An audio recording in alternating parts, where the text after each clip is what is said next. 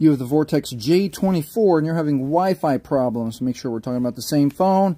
Here, let's solve it. First of all, make sure that your internet is on. Go to settings, go to network and internet, touch internet, and then make sure to toggle on Wi-Fi. Try that first. Next thing to try is a soft reset. Push the power button. Hit power off, wait 30 seconds, turn it back on. Don't do restart, power off, wait 30 seconds, try that. The next thing to try is to power cycle your Wi-Fi modem and your Wi-Fi router. Turn them both off, turn them both on, see if you get a better connection.